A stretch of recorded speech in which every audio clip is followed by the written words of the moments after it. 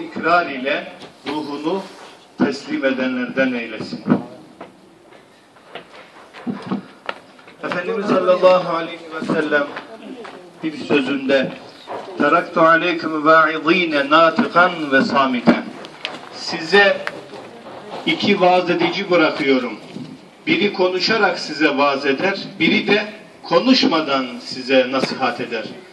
Bir tanesi Kitabullah, Allah'ın sözü, Allah'ın kelamı Kur'an'dır. Size öğüt veriyor. Müminlere hidayet kaynağıdır. Dünya ve ahiretimize lazım olan şeyleri Kur'an bizlere bildiriyor. İkincisi de vaaz eden konuşmadan bizlere nasihat ediyor. O da nedir? Ölümdür. Yani cenazeye katılmak, oradan ibret almaktır. Mutu kable en temut buyuruyor Efendimiz.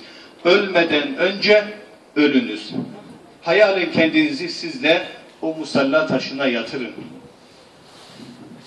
Kıymetli kardeşlerim, değerli müminler, hepimiz bu yolun, bu yoldan geçeceğiz. Hepimiz ölümü tadacağız. Cenab-ı Hak hayırlı ölümler cümle